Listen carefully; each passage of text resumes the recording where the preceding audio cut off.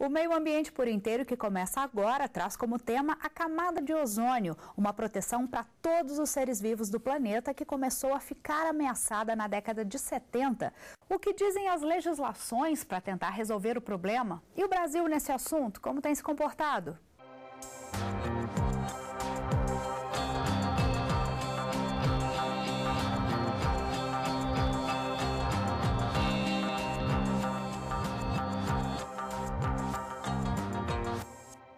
O nosso planeta tem uma camada de um gás chamado ozônio. Ele protege todos os seres que têm vida dos raios emitidos pelo Sol. Olha só que interessante. Se a Terra não tivesse uma proteção ao redor, seria tudo bem diferente. Só que para pior. Por exemplo, as plantas teriam a capacidade de fotossíntese reduzida. Por outro lado, aumentariam os casos de câncer de pele, catarata e alergias. Em resumo, nosso sistema imunológico seria bem mais frágil. A camada de ozônio envolve a Terra, impede que as radiações solares sejam nocivas aos animais, plantas e os seres humanos. Agora ficou mais fácil de entender, né? Olha só a diferença. Aqui embaixo, o gás ozônio contribui para piorar a poluição do ar e a chuva ácida mas lá no alto, uns 30 quilômetros acima da superfície, ele é um filtro que está ao nosso favor. Se não existisse, raios ultravioletas seriam tão fortes capazes de destruir a vida no planeta.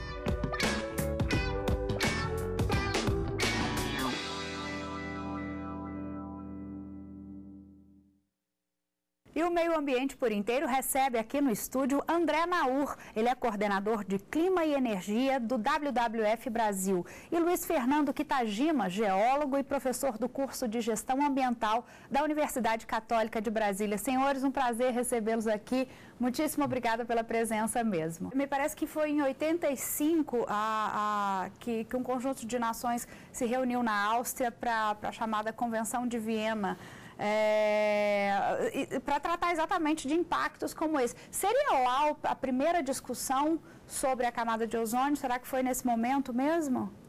Na realidade, é, podemos dizer que foi quando a discussão se internacionaliza. Ah. Ah, quando foi identificado o efeito negativo do CFC sobre a camada de ozônio e foi publicado esse impacto, podemos citar um exemplo da o livro do ano da, da Enciclopédia Britânica, em 1979, tinha um artigo específico sobre esse problema.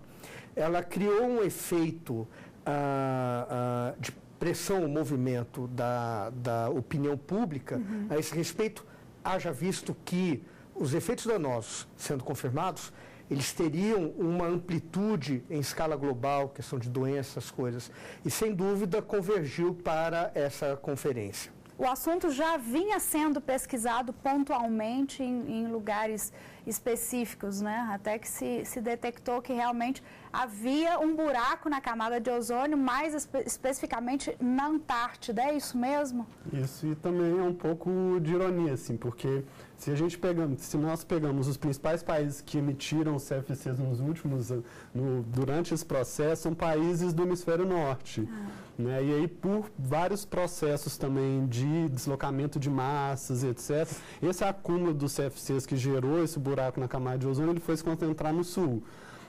Então, esses estudos eles começaram a demonstrar que esse, apesar de termos aí, vamos colocar aproximadamente o que uns 30 anos de é, emissão desses gases, o impacto disso foi muito grande. E aí nessa década de 70 já começou-se a haver esses estudos mostrando, teve o protocolo de Montreal que mostrou, né, e foi esse acordo entre diversos países para tentar fazer a é, a redução da emissão desses gases e também reduzir produtos que tivessem esses gases e, e fossem emitidos depois. O protocolo de Montreal, a gente pode dizer que foi o pontapé prático mesmo para a redução da emissão, de, de emissão desses CFCs, professor? Sim, porque no protocolo ele consolidou a definição de que haviam gases produzidos pela indústria humana, cujos efeitos na camada de ozônio implicavam na redução da quantidade de ozônio existente e que por extensão aumentava a quantidade de ultravioleta que atingia a superfície da Terra com todos o reconhecimento de todos os efeitos danosos que ela procurava, que ela causava. E a partir daí, a partir dessa primeira parte vem a segunda parte, que era a proposta de redução e posteriormente substituição da produção dos CFCs no, na indústria. E, é, mas foi, isso foi gradual, né? Não foi. foi. uma interrupção por completo e imediatamente do, do, do, do CFCs nos países, não. não. Foi gradual. Como é que foi isso? Como é que funcionou? Por exemplo, aqui no Brasil, a resolução no Brasil que começou a mostrar começou a colocar imposições para redução da importação desses produtos, ela foi assinada em 2000. Uhum. E isso por um processo gradual até chegar em 2007, que a resolução dizia que em 2007 né, teria que reduzir até 100% a importação desses produtos. Então, realmente foi uma, um processo bem gradual de redução de, de uso de equipamentos, como o professor mencionou, que utilizam o CFC como, como, como produto. Qual é a visão que vocês têm sobre isso? E se a visão de vocês, eu acho que, que é pela nossa discussão aqui, é de que o homem tem interferência sim, ele seria realmente o único causador ou podemos sim considerar é, é, efeitos naturais, causas naturais, da própria dinâmica natural da Terra e da natureza, enfim. É, a Terra realmente ela tem a sua dinâmica natural e emite gases como um processo natural. Uhum. Né? Por exemplo, o CO2 também, o gás carbônico, ele é emitido por fontes naturais. A questão é que os processos antrópicos, eles aceleraram a emissão desses gases de efeito estufa de uma maneira muito mais rápida do que você já viu em toda a história da Terra. Então, hoje em dia, nós estamos potencializando a emissão desses gases que tem acelerado muito esse processo, tanto de aumento da temperatura na Terra, quanto também de impactos na camada de ozônio. Então, o CFC, ele chegaria sim à estratosfera? Chega sim à estratosfera? Sim, até porque, por exemplo, a cinza vulcânica, que é um material rochoso, portanto, muito mais pesado, ele pode tranquilamente chegar até a estratosfera. Temos fenômenos naturais que mostram isso, porque a camada mais baixa da atmosfera, a troposfera, é caracterizada justamente por grandes movimentos causados pelo aquecimento da superfície. O ar quente sobe e, ao subir, carrega tudo consigo. Um exemplo simples. Grandes nuvens de tempestade, a base dela está a cerca de mil, dois mil metros de altura, mas o topo chega a 10 quilômetros de altura. Isso já é tocando na base da estratosfera. E esses gases, então, são capazes de, de são, chegar são a uma altura de dessas? Lá. Perfeitamente. E, e isso leva muito tempo? Depende mas tendo em vista a circulação atmosférica global, só para citar um exemplo, todo vapor d'água substituído em uma semana, significa que o, o gás pode chegar até, só para citar um exemplo, em caso de erupções vulcânicas, pode chegar até numa questão de horas. Então é um processo relativamente rápido. O problema não é chegar lá, o problema é que ela fica lá em cima. Não saia daí um minutinho. No próximo bloco a gente fala também sobre as alternativas para salvar a camada de ozônio. Não saia daí, tá já.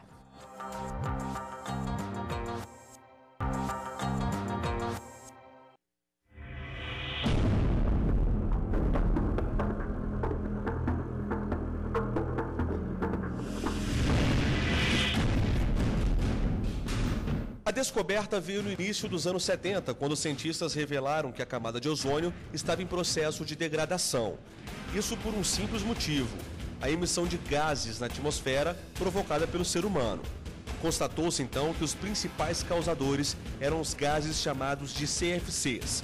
Tecnicamente, são os clorofluorcarbonetos, compostos de átomos de carbono, flúor e cloro usados principalmente em compressores para refrigeração como freezer, geladeira, ar-condicionado e também de produtos de spray aerossol, como os desodorantes. Ou seja, segundo especialistas, cada um de nós já contribuiu para esse fenômeno. E isso não é nada bom. Os CFCs, de fato, são gases que têm as duas propriedades. Eles, têm, eles, têm, eles são gases estufa, então, eles têm a propriedade de aumentar a temperatura global, porque eles interagem com a radiação infravermelha, mas eles também são gases que atacam a camada de ozônio, porque eles liberam, quando eles interagem com fótons, eles liberam um átomo de cloro e esse átomo de cloro reage com o ozônio, degradando esse ozônio, quebrando ele, gerando oxigênio e entrando num ciclo catalítico. Então, o mesmo átomo de cloro pode destruir até 100 mil moléculas de ozônio. Foi pensando nisso que 150 países assinaram um tratado de olho no futuro. A proposta: eliminar aos poucos os CFCs. Em 1987 foi criado o Protocolo de Montreal. Protocolo de Montreal ele já foi assinado pelo Brasil, né? Então o Brasil tem as metas a cumprir, inclusive está cumprindo. Né? O Brasil está bem, é, é, tá está seguindo à risca as metas do Protocolo de Montreal. Então em 2010, por exemplo, foi o ano que os países em desenvolvimento tinham para é, deixar de consumir CFCs, deixar de importar, deixar de produzir ou deixar de usar novos gases CFCs e o Brasil cumpriu essa meta. O substituto imediato dos CFCs, pelo protocolo de Montreal, são os HCFCs. Os HCFCs ainda têm um, uma capacidade menor, mas ainda tem uma capacidade de reagir com o ozônio e destruir o ozônio, né? Ele tem uma capacidade menor porque ele tem um tempo de vida na atmosfera muito mais curto, né? uhum. né? Então cerca de 5 a 20 anos no máximo, dependendo do HCFC enquanto os CFCs chegam a 120 anos. Gustavo é geólogo, professor da Universidade de Brasília, e tem visão diferente sobre o assunto.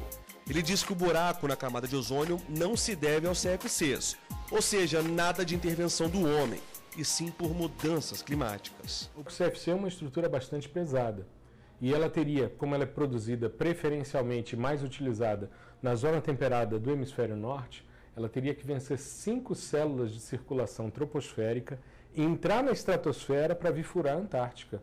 Por que, que ela não fura o Ártico? Só teve um evento, só existe um registro de um evento do Ártico, pelo menos que eu conheça, né, de buraco na camada de ozônio sobre o Ártico, associado à erupção vulcânica. A questão toda das mudanças climáticas, a gente tem que ter sempre muito claro o seguinte: uh, o nível de compreensão local é muito grande. A interferência que o homem tem sobre o clima localmente é muito estudado e é muito conhecido. Agora, o nível de incerteza global é muito grande. E tem muita coisa por trás, muito interesse econômico por trás. A Organização das Nações Unidas divulgou recentemente um relatório que mostra a camada de ozônio está em fase de recuperação, mas longe de como deveria estar, de como já foi no passado. Políticas públicas no Brasil para a contribuição dessa regeneração são suficientes? Em que pé que elas estão? Podemos dizer que o governo, ele, para princípio de conversa, foi signatário do Tratado do Protocolo de Montreal e, portanto, progressivamente foi tomando uma série de medidas visando a proibição do produto e sua importação. Então, é, podemos dizer que ela está caminhando num, num, sentido correto. É, Acredito, claro que pode ter. Em níveis uh, recomendados. Em níveis mesmo, recomendáveis, né? acredito que ela está sendo suficiente. Claro que uh, a implementação das normas às vezes é um pouco uh, deficiente, há uma necessidade de uh, maior fiscalização e tudo mais, mas são, acredito que são dificuldades que podem ser resolvidas até, digamos, a médio prazo. Então, eu acredito que sejam políticas corretas, sim. Seria realmente em razão do protocolo de Montreal, pela redução dos CFCs na atmosfera, vocês acreditam que, que essa realmente foi a grande razão? O Protocolo de Montreal ele foi sim um marco político muito importante para realmente reduzir a emissão desses gases. Né? Estimativas aí dos cientistas eles mostraram que devido a essa redução da emissão desses gases até 2050, 2060 provavelmente a camada de ozônio ela vai se recuperar, principalmente por essa questão. Mas isso levanta um ponto muito importante, que é a questão da permanência desses gases na atmosfera né, mostrando que, por exemplo, esses gases que foram emitidos no século passado, eles vão permanecer, eles vão gerar impacto por muito tempo. Uhum. Então é importante considerarmos também que as nossas atitudes hoje em dia, elas repercutem para o futuro. Essa regeneração seria por completo? Ela voltaria ao seu estado original ou isso não seria possível? Bom, depende de quanto vai permanecer a quantidade desses gases na atmosfera, né? Uh, é difícil dizer se há uma emissão zero atualmente, mesmo com o grau de redução ainda existe muito CFC residual que foi fabricado, que ainda é utilizado. Porque, deixando de lado a questão do impacto ambiental do CFC, ele tem certas propriedades que são extremamente úteis no setor da indústria. E muitos produtos, nós pensamos isso em termos de gás, mas muito produto leva CFC na sua composição. Teflon, ah, o isopor, e isso não foi proibido? Não, na realidade o que eles pedem é para que a fabricação desses produtos ou seja substituída por um sucedâneo, por um outro produto, ou elimine o CFC como ingrediente de sua produção. Né? E é isso que está sendo feito. Uhum. Ah, só para citar um rápido exemplo, a substituição do, do no, no spray pelo propano-butano, por exemplo. De toda forma, ah, ainda mais um fator que é justamente o fator natural. Uma das razões pela qual a, o Polo Sul tem essa, esse buraco, né, que na verdade é uma forte redução da, do teor de ozônio, é porque existe atividade vulcânica no Polo Sul, no vulcão Erebus, e ele emite uma certa quantidade de halogênios que se posicionam na atmosfera na região e promovem uma redução natural da camada de ozônio. A questão é que a ação humana acelerou esse processo. Uhum. E a é saída desse material é. exatamente vai levar algum tempo ainda. Mas é claro que temos, sim, razões para ver Uh, uh, um certo otimismo para ver um processo de recuperação a longo prazo. Esse protocolo de Montreal, ele estipulou um limite, de, de um, um, prazo limite para que o CFC seja de fato extinto em todos os países. Além disso, há punições para quem continua ou fabricando, ou importando, ou usando de alguma forma? Olha, ele definiu limites, datas. A data exata não está me vindo à memória agora, realmente, mas ela promove, ela propõe, estipula uma proibição. Agora, quanto a punições, ela não, não especifica quanto a isso. Até porque, por simplesmente, a ideia de punir, no sentido, é, ou de, melhor, melhor dizendo, de definir uma sanção, ela é por ser complexa, né? Porque às vezes um país pode uh, ter um depósito CFC por um acidente esse CFC ser liberado, ela não o fez de maneira, maneira voluntária. É. Então, a, a, ela se propõe mais ao controle e redução e, digamos, o fechamento da produção. Uma coisa uh, muito importante que veio junto com esse relatório da ONU foi a constatação de que os gases de efeito estufa contribuem para a regeneração da camada de ozônio.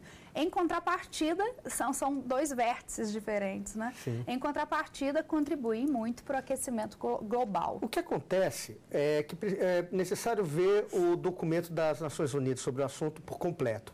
É, o que às vezes eles liberam são, é uma espécie de press release, que é mais simplificada e às vezes algumas informações não estão totalmente completas. A razão é a seguinte o CFC é um gás de efeito estufa e que ataca a camada de ozônio. Sua redução é, é teoricamente uma adição ao, ao, combate ao aquecimento global, né? ou melhor dizendo, redução do aumento de temperatura. O que acontece ah, é que o ozônio, ele é um gás que pela sua capacidade de absorver ultravioleta, entre outras formas de radiação, ele é também um gás de efeito estufa. Só que o efeito estufa dele é, digamos, ele está dentro de uma sintonia natural, se é que eu posso utilizar essa palavra. O que significa isso? A Terra, desde que desenvolveu uma atmosfera rica em oxigênio, ela tem ozônio. E esse ozônio ajudou a manter, na proporção que ela existe, as temperaturas da Terra num nível conveniente para Normal, o aquecimento. Né? Normal. Uhum. Então, digamos que isso não representa uma preocupação. A preocupação, sim, está em outros gases que são emitidos pela atividade humana e que são estudados como parte do, do, do problema, principalmente o dióxido de carbono, que é emitido em maior volume. Ou seja, ozônio é parte do efeito estufa, dos gases do efeito estufa, porém a sua contribuição nas atuais circunstâncias é menos uh, importante para o problema do aquecimento global do que dióxido de carbono. É importante também ressaltar que o processo com a camada de ozônio, ele é complementar ao aquecimento global. Então, assim, a questão do aquecimento global e da camada de ozônio são dois processos complementares. Uhum. Então, assim, como o professor ressaltou, o CFC, ele pode também potencializar a, a questão do, do, do aquecimento camada. global, mas também temos que ressaltar que ele também é, ele sem o, o, aquecimento global, ele não seria possível. Então, assim, precisamos também do ozônio, porque senão as temperaturas na Terra, elas seriam impossíveis de termos vida aqui na Terra sem não esses é, gases. Não é só para barrar a entrada de, de raios ultravioleta, mas sim de manter a Terra aquecida, Isso, né? Em níveis isso. normais. A redução desses gases, eles vão ser fundamentais para a gente garantir a nossa qualidade de vida, porque agora, com o aquecimento global, com o afinamento também da camada de ozônio, vários processos relacionados com a saúde das pessoas começam a ser impactados. É, claro. Né? Então, agora, a questão do aquecimento global, com esses processos, eles vão melhorar e a intenção é essa, né? garantir a segurança climática e segurança da vida das pessoas a longo termo. E professor, outras medidas também podem ser adotadas para ajudar a resolver o problema da camada de ozônio ou o grande vilão mesmo era o CFC? Bom, uh, o grande vilão é o CFC, pelas suas características, mas nós temos também outros gases que podem ser prejudiciais à camada de ozônio, como os óxidos de nitrogênio. Esses são produzidos, por exemplo, por queima em temperaturas excessivas de combustível, né? grandes incêndios, antigamente tinha essa preocupação, hoje não tem mais, porque isso já é proibido, explosões nucleares, entre uhum. outros. Só que no caso do óxido de nitrogênio, ele pode acabar sendo absorvido rapidamente pela superfície, faz parte do ciclo do nitrogênio. Entretanto, é um dos vilões. Mas, de qualquer maneira, o controle, a redução e proibição da produção, redução e proibição do uso e substituição do mesmo por si já foram grandes avanços. André, professor Luiz Fernando, muito obrigada pela presença dos dois aqui. Foi excelente nosso bate-papo. Voltem sempre à casa de vocês, viu? Obrigado, Carol. Muito obrigada a você de casa também pela companhia de sempre. O Meio Ambiente por Inteiro fica por aqui. Você pode rever este e outros programas no nosso site. É só acessar o tvjustiça.jus.br. Sugira também um tema para a gente debater aqui para você. É só mandar um e-mail para meioambienteporinteiro.s stf.jus.br. Semana que vem a gente se vê de novo. Até lá, tchau.